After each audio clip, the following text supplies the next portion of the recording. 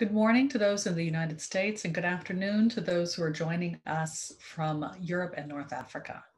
My name is Tess Davis and I'm Executive Director of the Antiquities Coalition. It's my honor to open this virtual event on the digitization of privately held materials in the Maghreb.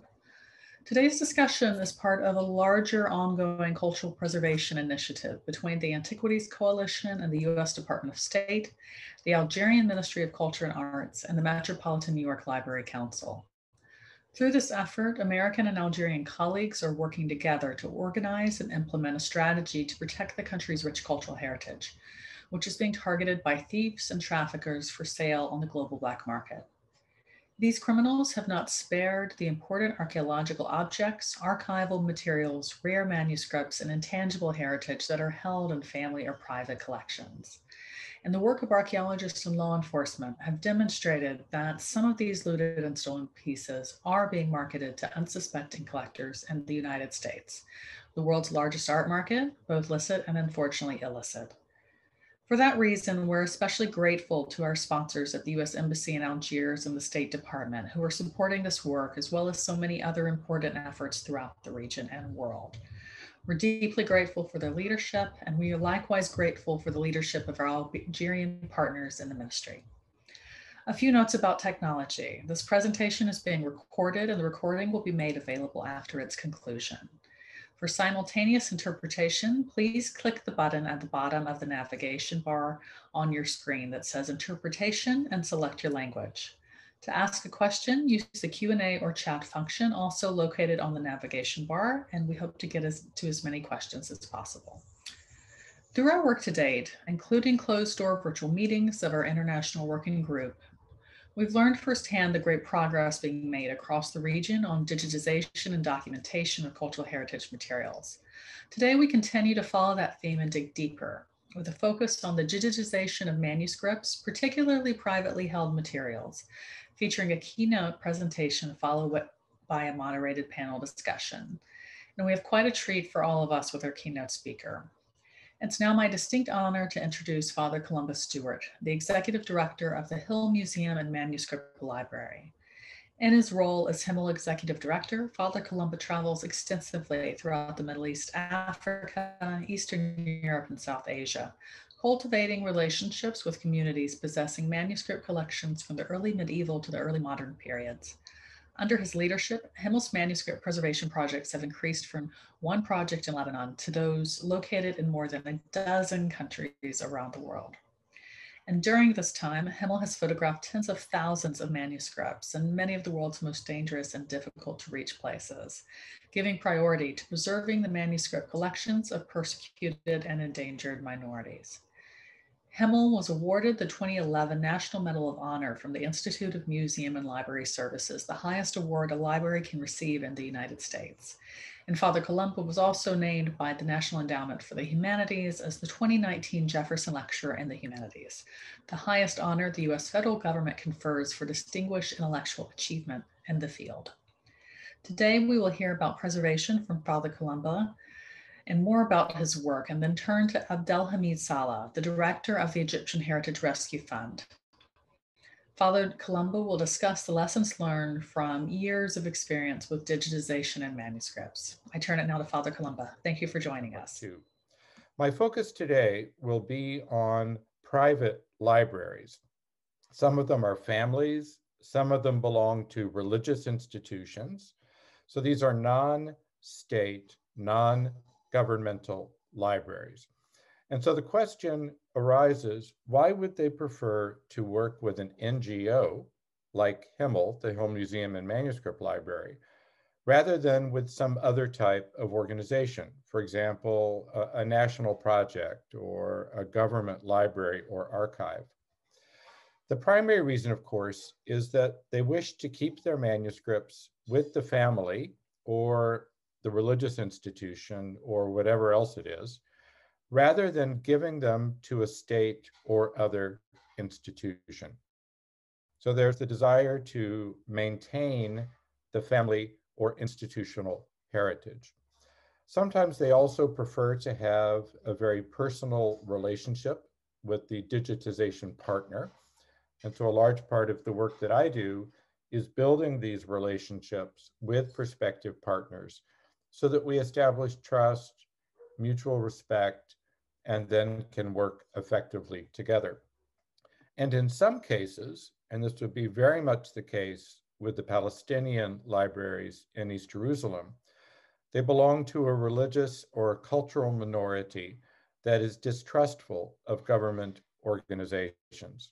Obviously, the situation in Jerusalem, we have found the same working with Muslim communities in India who are worried because of the current policies of the government. And they, as a religious minority in that country, want to make sure that their manuscripts are safely digitized. Now, for those of you who approach these things from a kind of national perspective, I think it's important to realize that in the digital era, the actual physical location of a manuscript becomes less important if it has been digitized. So we can have virtual online repositories that have many libraries in them so that no longer do we have to put everything in one single physical location, but they can be gathered together in virtual repositories. And while you might think that having all of these smaller libraries all over the place, that it makes them more vulnerable, that is true individually. However, as we have learned in some locations, sadly, where central repositories, central libraries, central archives have been destroyed by things like war or fire, there is also an advantage of having important historic materials in more than one location. So some of the issues that arise in working with private libraries are the fact that there needs to be a trusted intermediary. Uh, in other words, our organization always works with people who come from those places or cultures to make an introduction, to facilitate the relationship, to avoid misunderstanding, uh, because we are a foreign NGO and we have to ensure that people understand fully what our motivations are and that we are a trustworthy partner. We've been doing this since 1965, so more than 50 years.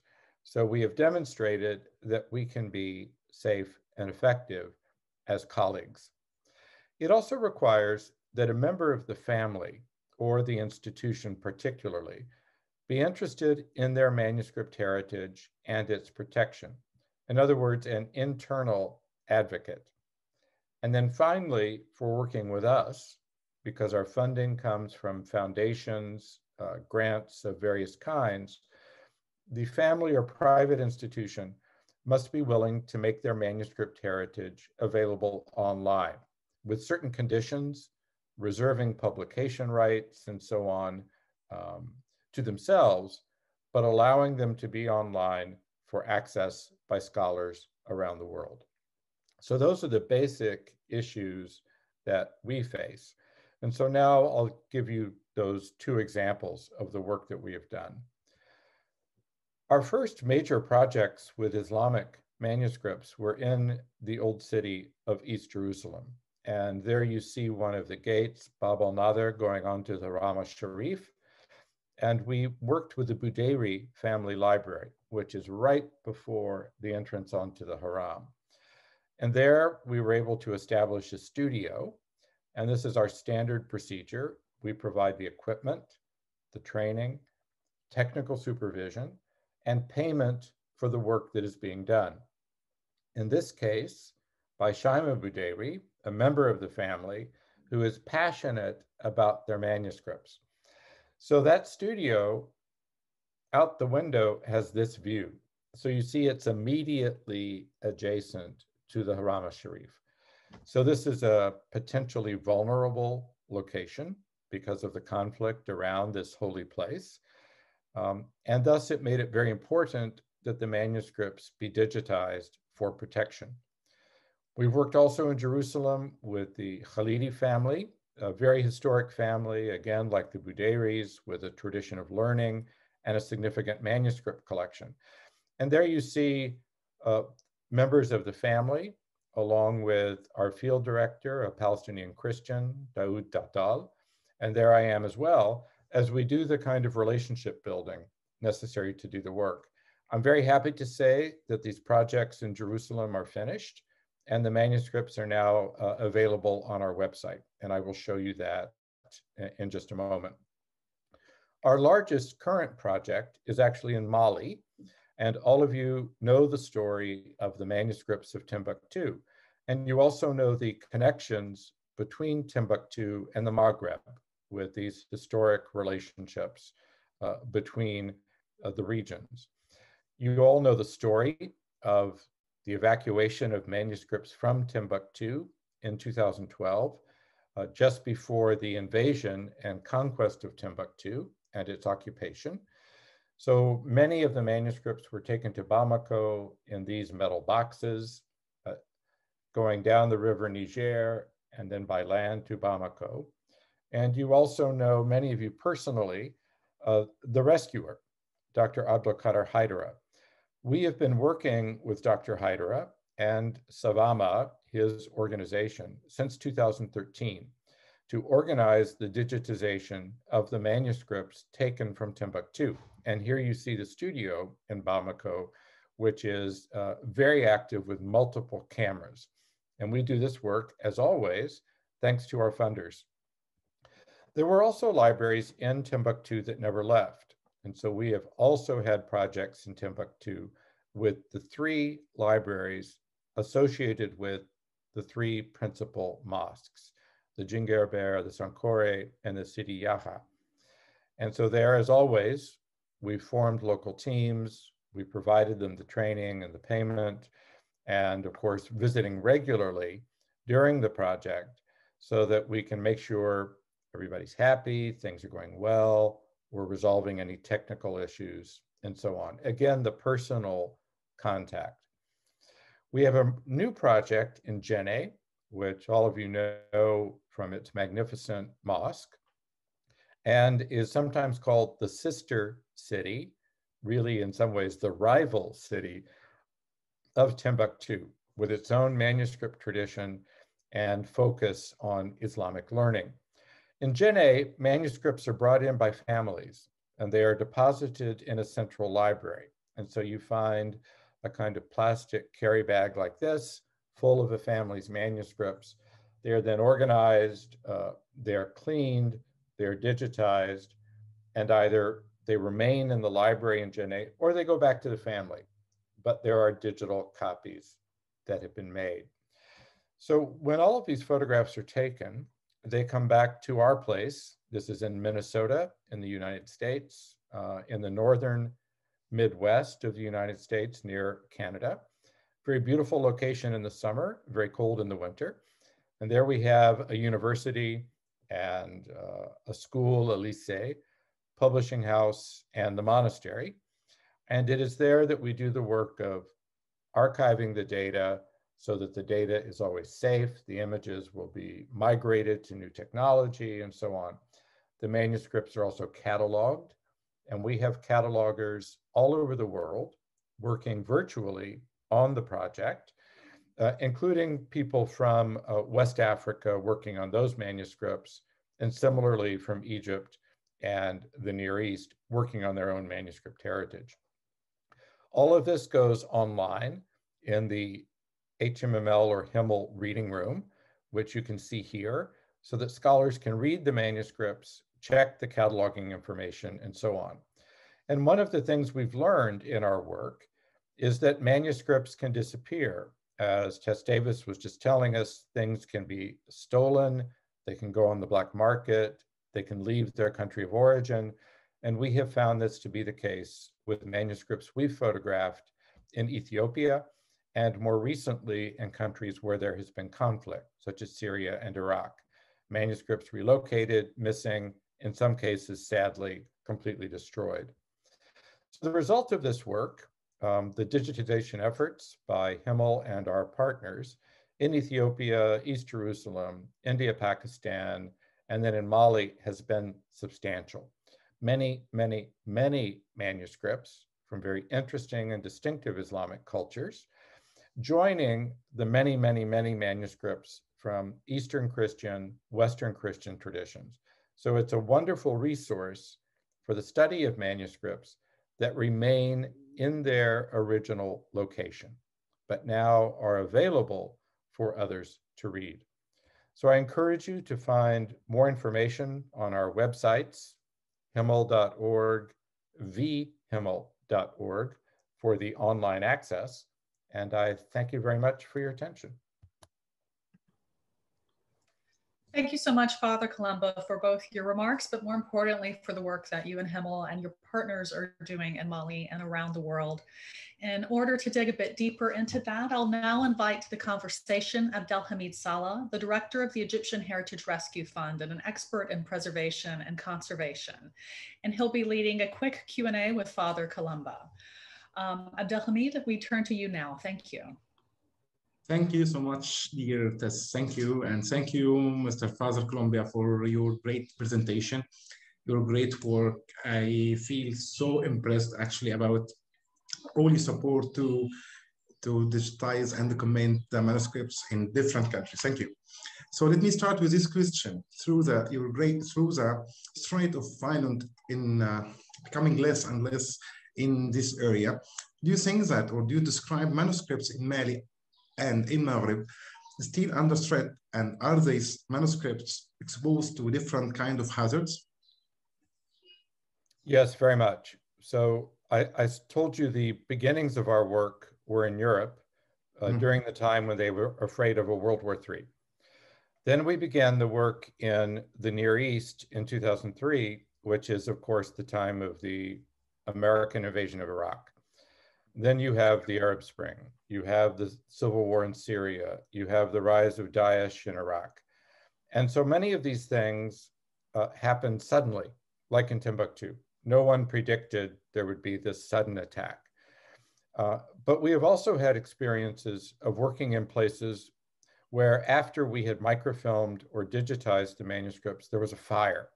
So there are these perennial constant threats and all of you working in libraries and archives are well aware of problems like fire, insects, dust, the other threats, in addition to the more violent ones. So I would say that important libraries and archives are always, always in some kind of danger. And so we have to do what we can to mitigate the risk and keep them safe. And digitization is one aspect of that work. Thank you.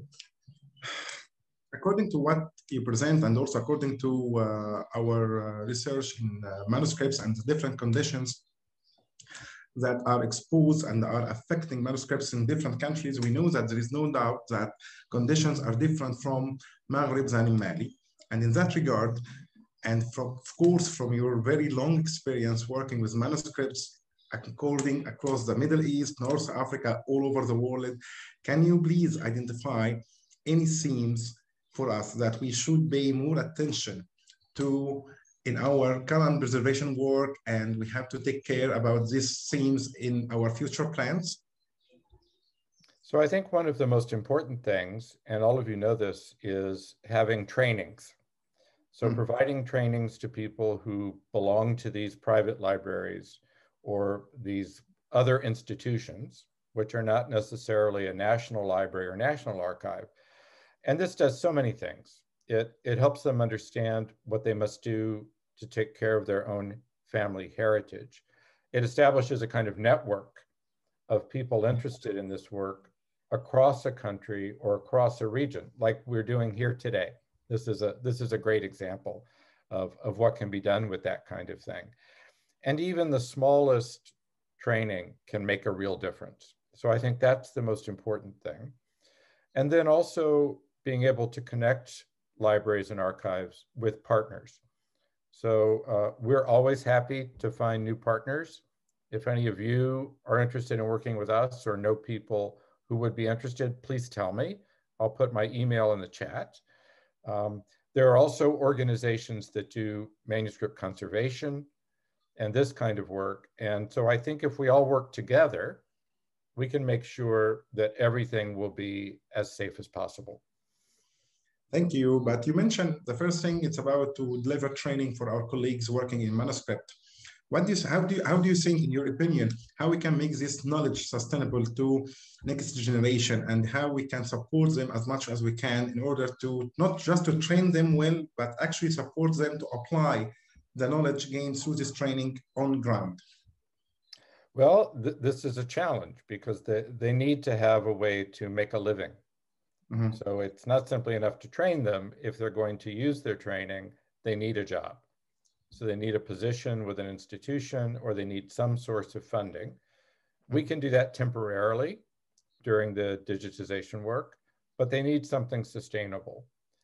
And so that requires the family library or institution organization library to become sustainable, to develop itself as an organization, to identify sources of funding, um, and to find ways that they themselves can become a center of learning and a center of culture to be sustainable. Or perhaps they form a partnership with another private library, because then together they can be more sustainable uh, more easily than separately. نستطيع أن نتعاون مع بعض هل هو ما يسمى بالخطورة على more into that a bit and also how our private collection different from collections that held by government and what in your opinion think that private owners want to do and what are their objectives according to your experience for dealing with this different kind of collections family or government the family collections are very interesting because they they form a single collection. And mm-hmm. so you see the interest in the history of the family itself. So they, for example, in Jerusalem, the Khalid family, the Budayri family, there was somebody in the family who was a great scholar. And it is this person who gathered the manuscripts and created a personal library. And this is very interesting because it tells you about culture in a particular location. So a national library can have many wonderful things, but it does not have personality in the same way that a private library has. And so uh, preserving that personality, that distinctive identity, I think is important. And this is what the families want as well. They want to honor their ancestor who collected the manuscripts. They want to honor the people who took care of the manuscripts over many generations. And uh, it's a matter of pride pride in their family, pride in their heritage, pride in their learning. Um, but at the same time, establishing the network with other libraries, including national ones, is very, very important so that they find the support and training they need. I understand exactly what you are uh, saying because it's we have a lot of experience here in Egypt according to this. Let's change a little bit and in the last years we show a lot of maps that shows the effect of climate change and how it's really extremely impact on Africa here. So how much do you worry about climate change? Uh, I worry a lot, um, both because of my own country, where we mm -hmm. see the impact of climate change, and of course, we're all very aware of the situation in the Maghreb and the Sahel with, uh, with the potential for desertification and, and the, the real threat to human existence. So climate change is one of many stresses on communities. Obviously, cultural heritage is threatened by climate change like everything else. My worry and concern is that cultural heritage, as people are fighting to survive, cultural heritage will be one of the things that they put aside because they have to feed themselves. They have to support their families. And so we need to do what we can now to mm-hmm. make sure that all of these aspects of human existence will be protected because we do not know what the future will bring. I agree with you. I totally agree with you. Uh, Mr. Father Columba, you know that I do many preservation, disaster risk management, and first aid for cultural heritage training here in Egypt, in the region, and also in many other countries in the world. So do you think that there is a single priority that you would you suggest for our audience as the most important they can take to look after their manuscript and other cultural treasure It's very simple. Make a list, make an inventory of what you have. It is very surprising to us how many libraries, even institutions, do not have a good inventory of their own manuscripts. This is very important in case of loss, theft, or destruction. And then the second thing is to do the digitizing. And there are many ways to do it. I think it's better to partner with an experienced um, organization like ours, but it is possible to do it yourselves. Mm-hmm. Uh, but then you have the problem of archiving data and, and so on. So I think those two things are very important as a kind of insurance or protection. I can understand this because uh, me and Peter and our colleague Tim, we are implementing a project to an emergency intervention for Aden Museum. And we know that our first advice for them, as you said also, have an intervention, make a list, you know, right. document your objects so you can have an evidence that you, you had this kind of collections. We know that manuscripts are very fragile material and need a sensitive conditions in order to be preserved. In your opinion and through your long experience, what your main advice for both government and private sectors or people who are only uh, have uh, their own collection, the best way and advice to conserve these valuable manuscripts also in order that if they found a kind of a damage and where it's need an emergency intervention for a manuscript, what you, advise also how to stabilize those manuscripts, like like like a quick device, advice for those who even don't have an idea about, but they own a collection. Well, as all of you know, the most uh, the greatest dangers to manuscripts are high humidity, so being very damp, and then insects and mold. So if you can find a way to protect the manuscript with, for example, a very simple conservation style box, you can make it yourself. Mm-hmm. You get the you get the cardboard, you get the training to know how to cut it. That is the, the most effective, simple, not very expensive thing you can do to protect the manuscript from outside threats. But the humidity is an issue. So if you can find a way to keep them in a very dry place, that's critical. Egypt is perfect. Egypt has the perfect climate for keeping manuscripts, but other people have rain and mm-hmm. humidity, and so they have to have other ways of doing the same. Because of climate change, we start to head by heavy rains in the last years, and I think the situation will be different in the future according to our weather. Maybe we will not, we, we don't know. But also, we know that a lot of material, especially when they use it as a support to uh, handle the manuscript or to conserve the manuscript, sometimes pH degree is cause some damage. And people, I mean, I'm, I'm talking about the general people, not, not researchers or scientific people or conservators. They don't know how does it affect pH, the wrong pH on the paper. Is this right. a way that they can test the pH degree for the material, especially if they would like to use a support to these manuscripts? Uh, there are many very simple techniques that can be used to protect them. This again is the training.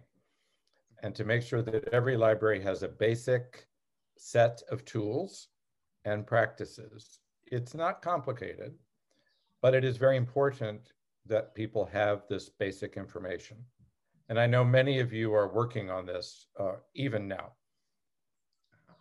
Great. Well, thank you so much for that fascinating conversation. And we just wanted to open it up now to our full panel of experts, um, which includes from Algeria, Mr. Ahmed Belalem, Director of the Center for Manuscript Studies in Adrar, and Professor Ahmed Jafari, Director of the Laboratory of Algerian Manuscripts in Africa. From Libya, Mr. Abdul Abul Qasim Bashir Qasim, Director of the Ghadames Society for Heritage and Manuscripts, and from Morocco, Mr. Jama Baida, national archivist. And this discussion with all of our participants today will be moderated by Dr. Charles Henry, president of the Council on Library and Information Resources. And Dr. Henry has served as CLIR president since 2007 after having served for a decade as a university librarian at Rice University. And his work focuses on a variety of topics, including the evolution of humanities in a digital era, the organization and information and support of its teaching and research, the concept of the library, and the idea of coherence at scale for higher education in the United States and indeed around the world. And more recently, he has been working with partners internationally on a truly global digital library. And Dr. Henry and the Antiquities Coalition are very close partners. We've are the founding organizations behind the Digital Library of the Middle East, um, the project that instigated our active involvement in the digitization and documentation of cultural heritage materials in North Africa and the Middle East. Um, so Dr. Henry and my AC friend and co-founder Peter Herdrich initiated and developed this project and its platform with funding from the Andrew Mellon and the Whiting Foundations. And Dr. Henry, I turn it over to you now for discussion with all of our great participants today. Thank you. Uh, thank you, Tess. Thank you for that eloquent um, introduction. Um, being cognizant of time, what I'd like to do is to ask a question of each of our panelists. And the question will give them an opportunity to briefly describe their work and uh, their interests to introduce them uh, to our audience. And then uh, with, with time, um, talk, uh, ask some general questions about issues and themes and perhaps challenges that uh, all of them uh, confront. So I would like to first ask Professor Ahmed Jafri, who tests, uh, acknowledges works at the Laboratory of Algerian Manuscripts in the University of Adrar in Algeria. Uh, Professor Ahmed, could you talk a little bit about your work with manuscripts and how you assess the current state of preservation? أولا بسم الله الرحمن الرحيم أود First, hello to everyone. I would like first to thank uh, all the Union of uh, the Heritage, American Heritage for having launching this project of digitization and for this meeting concerning the protection of the family materials. Concerning the protection and the digitization of the heritage, this work that the Cent National Center is making, which is a cultural uh, uh, institution uh, to protect uh, the heritage with uh, scientific tools. Uh, if we talk about this center, the um, I manage these I would like to talk uh, as a specialist before being director of the Center uh, of Protection of uh, Heritage. I had some projects. I have uh, uh, much ideas uh, concerning the protection of these archives. Uh, this center, as uh, the law uh, is saying, has a target of protecting uh, all the archives and selecting them, protecting them, making a scientific study of these archives um, by specialists. Um, and uh, uh, bringing uh, under the light the scientists who are working on this protection,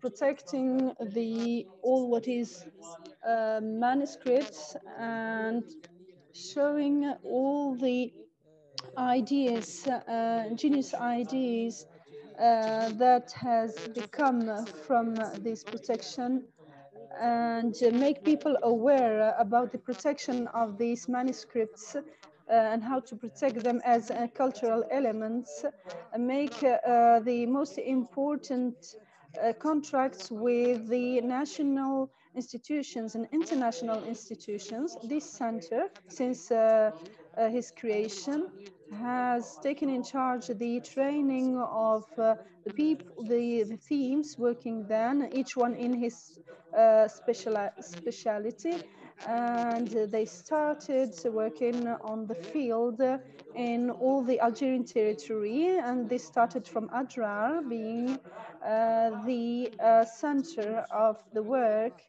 and that has a lot of manuscripts. And then we went to Tamanrasset Tindouf, Bechar, and after two connects, uh, the National Center uh, has made two centers in Biskra and Tlemcen, uh, where we had to start an inventory uh, in the east and the west of Algeria. Since the start, the this launching of this center, we had more than 10,000 um, of manuscripts uh, in 120 uh, uh, places. And then we had uh, three centers of conservation and the uh, work is still going on. And then we will continue to talk about uh, this uh, question of family materials. Uh, if you want to ask other questions, I'm open to your questions. Because in my presentation, I'm talking about the most important challenges that we had uh, uh, concerning the family materials. Uh, do you hear me? Can I continue or should I answer to any of your questions?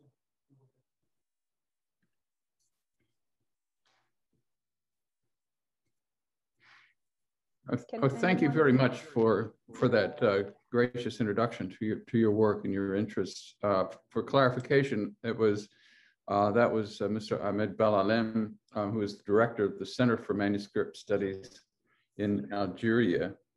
Um, I think if we could, uh, Professor Ahmed Jafri, um, could we come back to you for a similar question? Um, to talk about your work with manuscripts and also how you uh, assess the current state of preservation.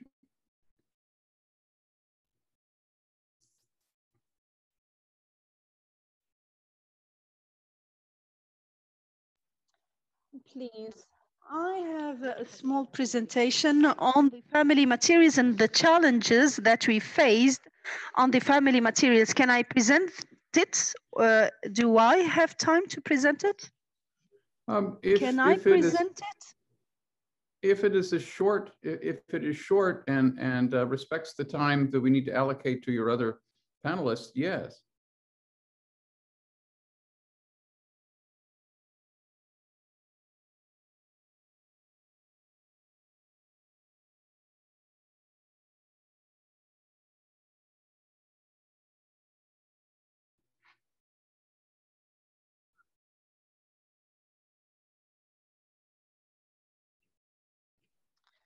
So through the different activities of the center during these years uh, and the uh, visits of the fields, we faced some challenges. Uh, the most important of them, uh, the non-answer of uh, the one who possesses uh, these archives. and I consider them that it is a personal thing and the possessors uh, refused to talk about the subject, the subject of the uh, the inventory. The, the, you, you, can find the people who have uh, these manuscript, but they don't want to talk with us. And each one of uh, the village uh, direct you to another person, and then a person to another person and some of them are seeing these archives like something which is holy and you can't see them. And even uh, those who have the archives uh, if you talk about digitization they don't talk to you about other uh, manuscripts. They hide them. And sometimes uh, they are not responding to this because they have uh, negative experiences with uh, some persons. Uh, uh, a lot of archives had been lost. some of the researchers who came to these persons, they didn't give them to, to study them, they didn't give them back to the possessors. So they let a negative impact and uh, these possessors don't want to deal with uh, other persons. So uh, sometimes uh, the possessor doesn't have enough money uh, to invest on the, the protection of these uh, archives. And sometimes it's not, the, these possessors are asking for money, money uh, so they can preserve their possession. And this is illegal. Sometimes uh, uh, these kind of uh, contacts needs a lot of time and the possessor uh, doesn't have time to receive the technical team for 10 days. And one of the, most important challenges is that the possessor that has this archive from his grandparents uh, can't have enough uh, knowledge about the object uh, or uh, the persons who uh, made this archives, this object. So uh, these people uh, doesn't have any uh, cultural background. And sometimes you can find that uh, uh, the objects has been distributed for heritage and they had a lot of uh, objects uh, and after the heritage from the grandfather this object has been given and each one from the village uh, is uh, possessing one or two or three objects. The one that has uh, two or three uh, manuscripts, hide them in a secured place and uh, this person doesn't want to show them to public. Uh, in general, these are the most important challenges uh, that are facing uh, people working in the field. Thank you so much. Thank, thank you, Professor. Um, that that was a, a wonderful, enlightening, and uh, um, educative presentation uh, on both, I think, the opportunities and the challenges of, of the excellent work that you were doing. Um, I'd like to turn to our other two panelists and give them also an opportunity to talk a bit about their interests in their work. Um, another person with uh, great firsthand knowledge uh, of manuscripts from the Maghreb region is uh, Mr. Abu Qasim Bashir Qasim, who is director of the Ghadames Manuscript Society in, in Libya. Uh, you focus on uh, local manuscripts related to, to trans-Saharan trade. Could you tell us a bit about your society and the digitization that you do?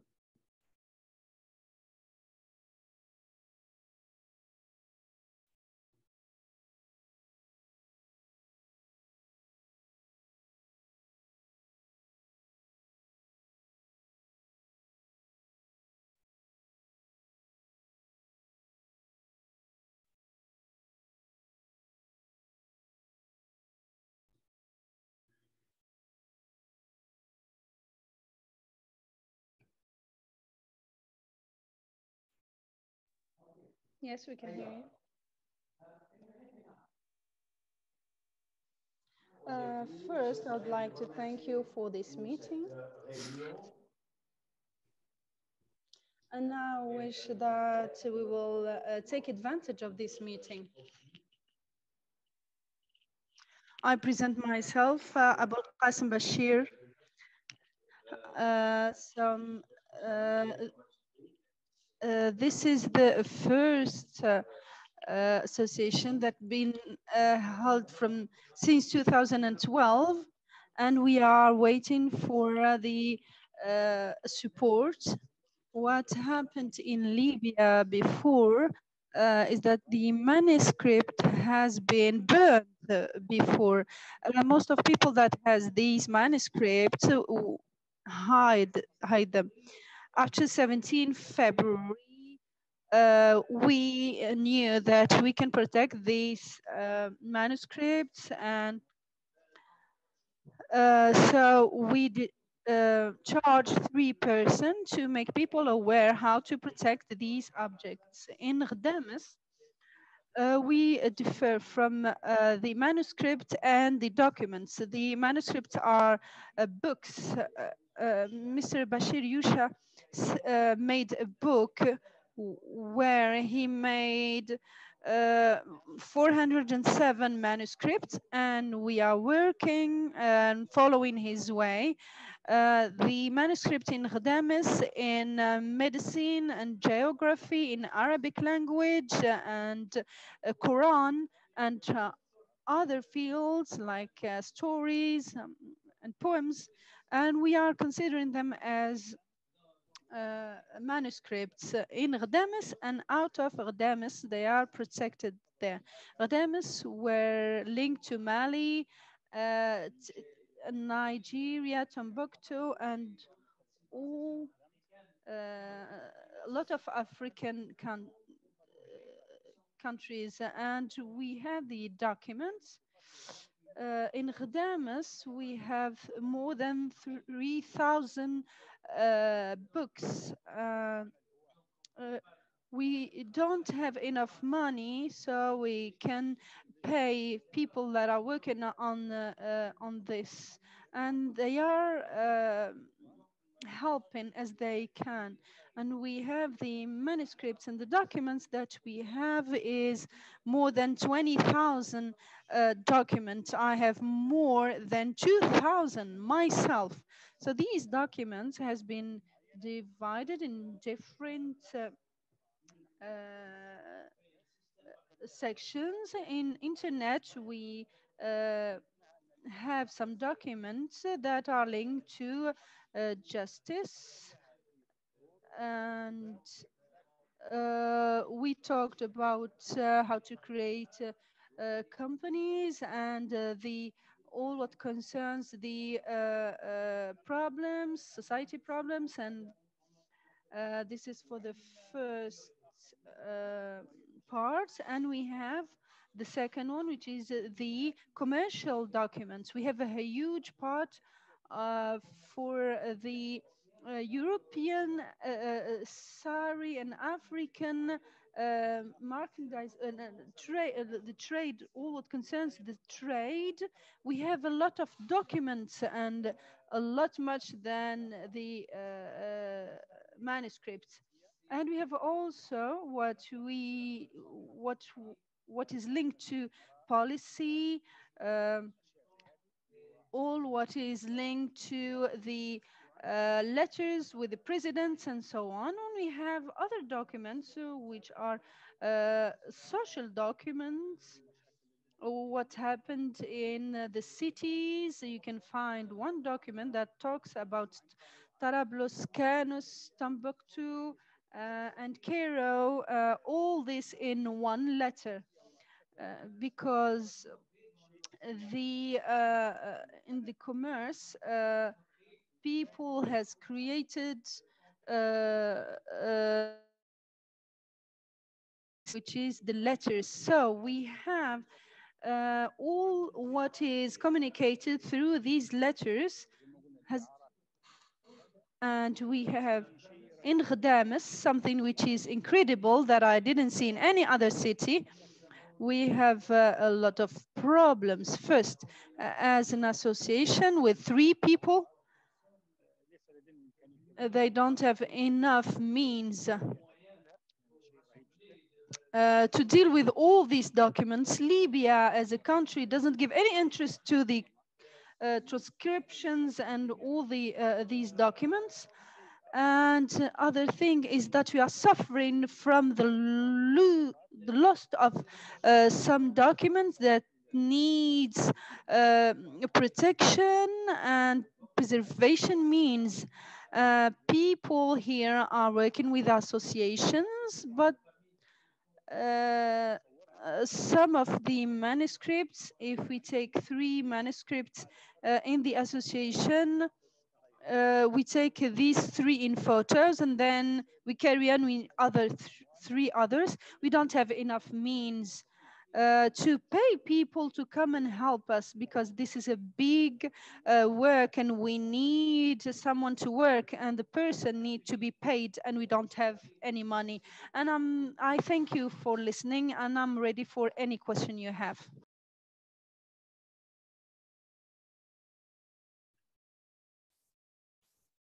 Thank you very much, uh, Abu Qasim Bashir. Uh, in the interest of time, I think uh, if we have time for questions, we can take them at the end.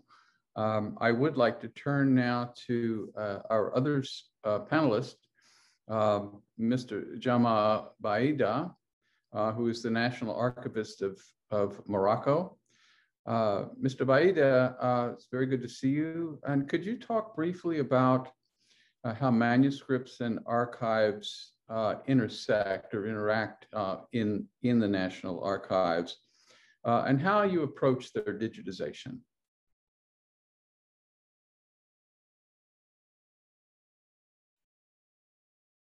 Thank you so much uh, for inviting me and thank you for this initiative uh, that is uh, gathering the American people and uh, the Maghreb in general and Africa. And I'm very happy. I present myself uh, before anything. Jamaa Baida, historian and director of Archive El Maghreb, and also uh, old president of the Maghreb Association for the Research in History.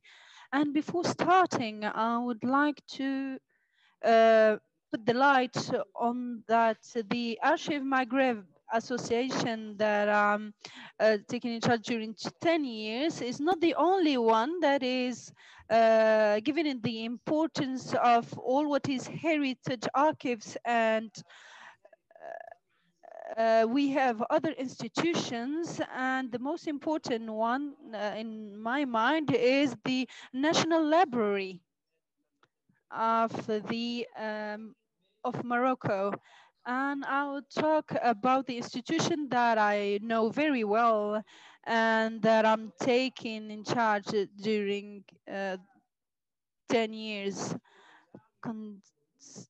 For my part, uh, we have a we give importance, a big importance for the general archives, uh, the state archives, uh, that has documents of the uh, national institutions, but we give also uh, a huge importance to the personal archives and the archives of families. In these archives, we found a lot, a great number of manuscripts. Uh, our plan or our strategy in this field. And since 10 years is to convince uh, families, especially those uh, that has the knowledge uh, from which uh, we had uh, professors, researchers, um, doctors, or family that we call in Morocco uh, uh, uh, families that has important objects. this family has a very important place in the society. So they have uh, great objects uh, as uh, manuscripts and documents, ordinary documents that reflects the uh, everyday life, uh, being it uh, pol policy or society life.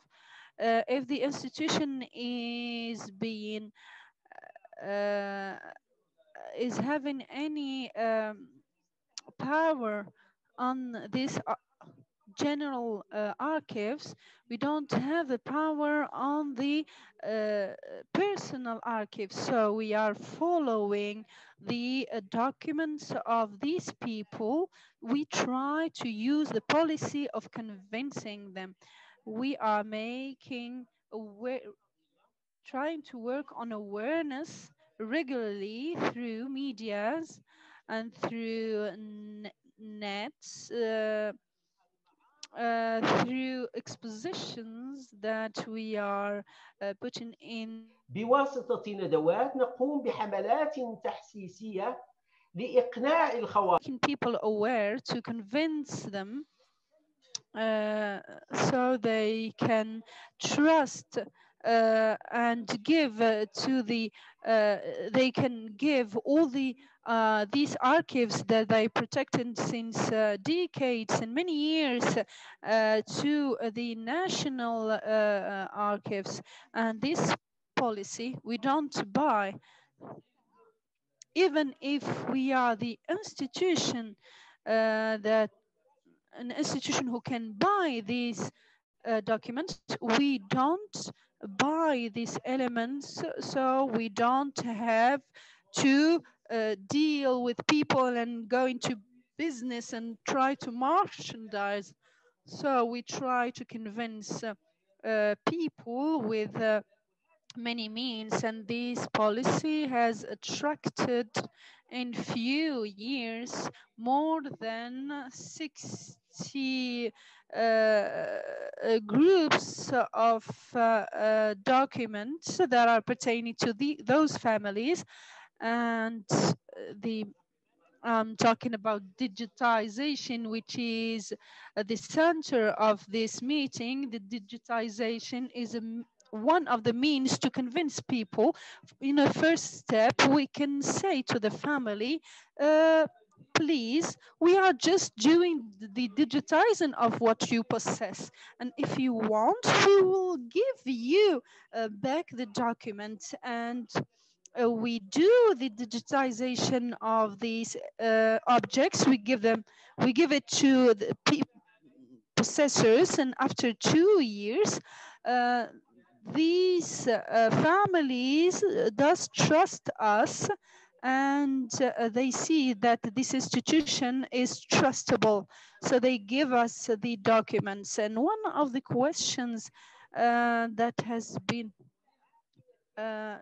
uh, treated is that each family uh, has considered the institution and trust this institution. So these groups are called uh, uh, the documents given are not uh, put in some cases like political or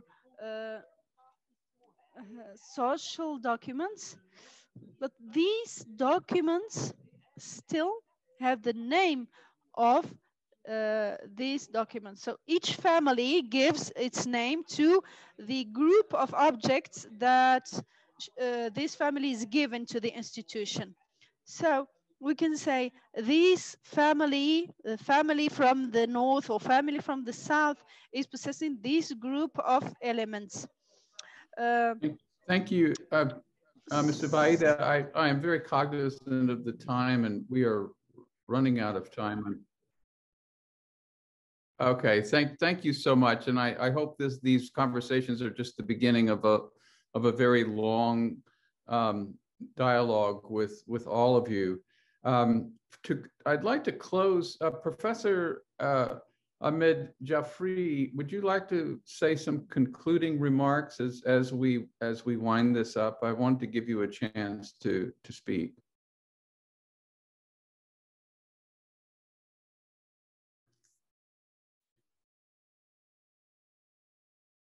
Thank you so much.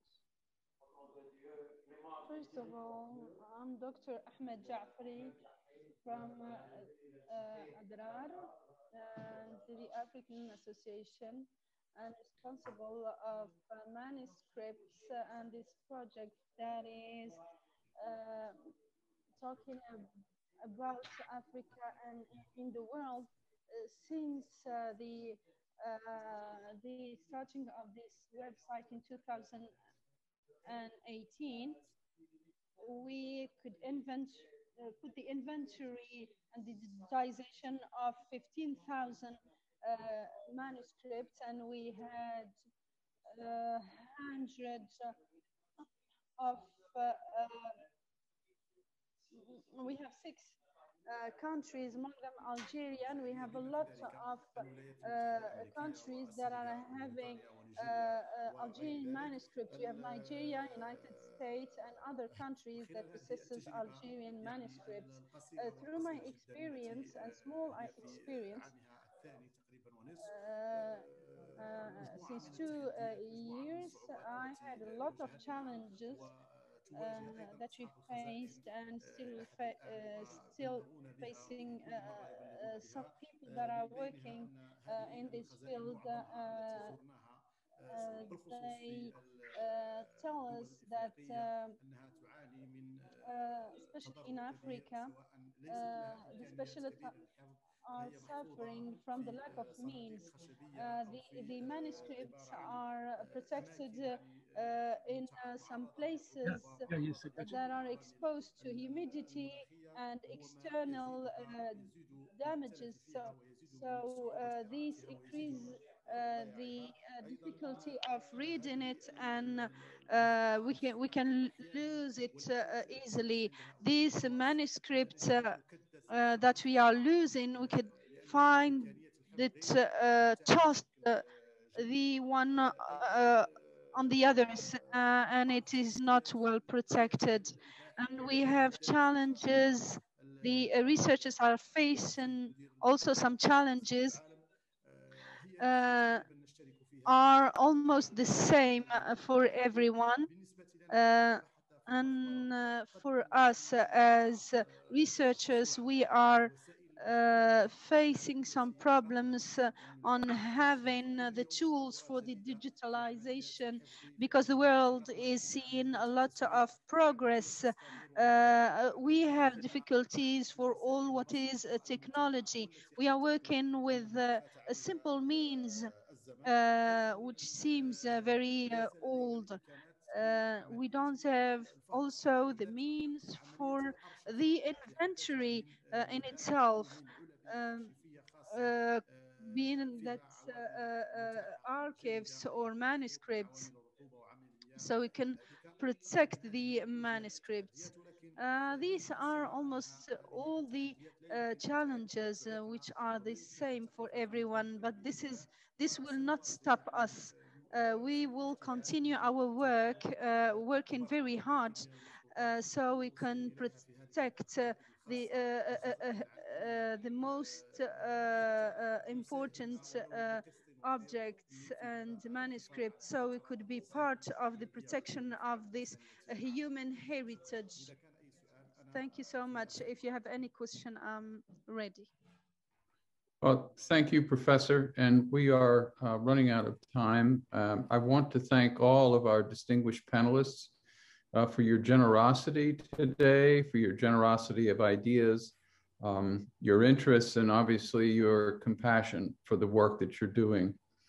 Um, I think we can now conclude, and I'd like to turn to Peter Herdrich, and the co-founder of the Antiquities Coalition, who's my partner on the Digital Library of the Middle East, and director of this project.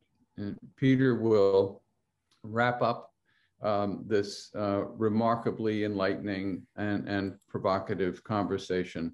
Over to you, Peter.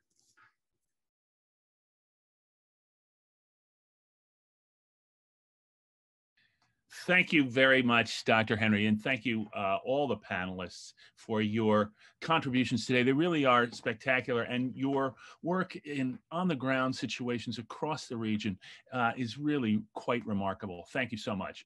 So uh, what I would like to say too is thank you to Father Columba Stewart and Abdel Hamid Salah for bringing your ex expertise to us and to the challenges of cultural heritage preservation as well.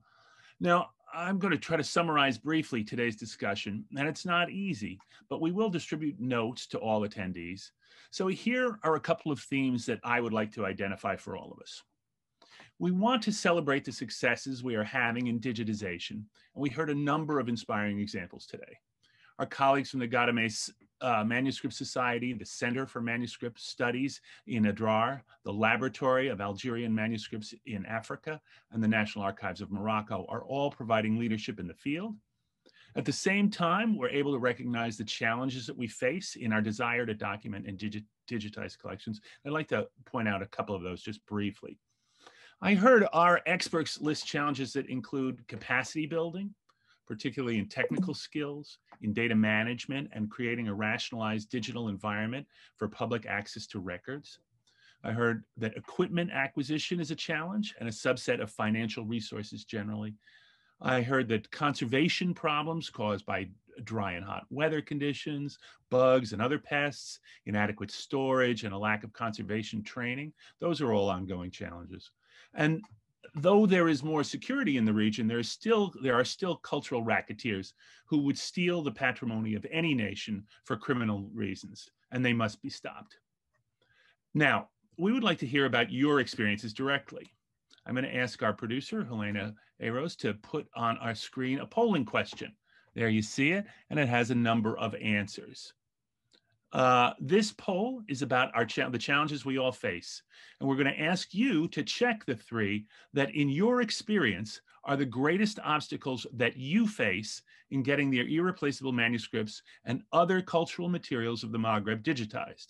So check three. And if you don't see the one you think is most important, check other. Unfortunately, our poll is only available in English, so I'll read the choices again and our interpreters will let you know what they are. So number one, technical skills. Number two, data management. Number three, equipment acquisition. Number four, climate risks. Number, uh, sorry, number four, conservation issues. Number five is climate risks. Number six is cultural racketeers and other security threats. Number seven is the digital environment for records access, so digital environment. And finally, number eight is financial challenges. We'll tabulate those results and take a minute to answer those questions. And let me say, in the meantime, uh, today has given us plenty to think about as we move forward with our project on digitization in the Maghreb. And we hope that you've learned much our working group will take up the challenges that we have discussed and consider ways for us to work on them together as we discuss cooperation. The goal is to develop a program that will serve the needs of this community and allow us to implement those solutions. Uh, now, we're going to take just a second to see what we have as answers to our, uh, our uh, challenges. And I am getting chat messages which say that the top challenges are financial challenges